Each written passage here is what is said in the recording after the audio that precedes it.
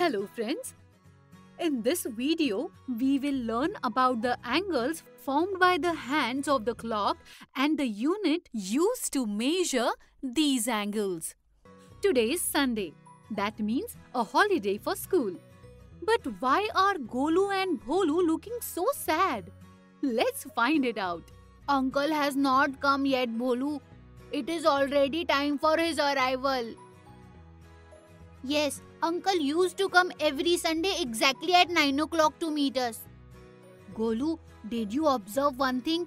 If we look at the hands of the clock, they are making a right angle. Hmm, yes, it is a right angle. Are there any other angles in the clock, Bholu?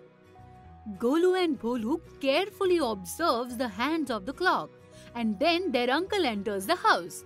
Hey, why are you looking at the clock so carefully? Uncle, do the hands of the clock form angles? Yes, Golu. Now look, it is 5 minutes past 9 now. If we look at the angle made by these two hands, they are making an angle greater than a right angle. In the same way, when it is 5 minutes to 9, then they would be making an angle less than a right angle. But, uncle, just like we measure time in hours and minutes, can we measure angle in the same way? Yes, Golu, you can. Angles are measured in degrees, just like knowing the minutes or hours by looking at the clock. We can tell how many degrees the two sides of an angle are making by looking at them. Okay, tell me about the angles you know. Uncle, we know about three types of angles right angle, angles greater than right angle, and angles less than right angle. Oh, wow! Do you know the measurement of our right angle, children? 90 degrees.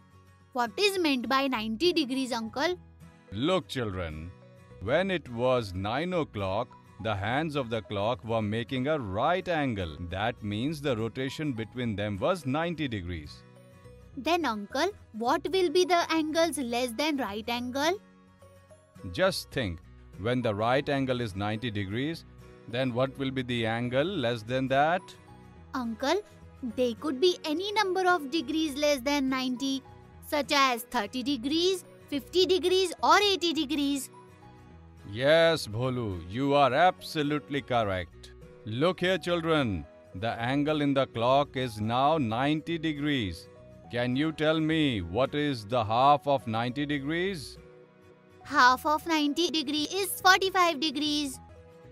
Yes, this is half of 90 degrees. That is 45 degrees angle. Okay, children, can you tell now what is the double of 90 degrees? Uncle, double of 90 is 180 degrees. Absolutely correct, Golu. Now look at this angle, children. This is double of 90 degrees. That is 180 degrees angle. That means this angle is made by joining 290 degrees. Yes, Bholu. Children, now you have seen angles of 90 and 180 degrees. Can you tell how many degrees this angle makes by looking at it? Hmm. It looks like greater than 90 degrees and less than 180 degrees. You identified it correctly, Golu. This is an angle of 135 degrees. This is greater than 90 degrees but less than 180 degrees. Oh wow! How easy is it to identify angles in the clock? Try to guess the measures of the angles formed in the following clocks.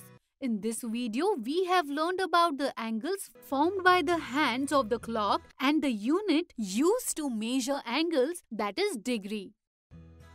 Can you tell me when the angle of 90 degree is formed in the clock? Think for a while. We will discuss this in detail in the next video.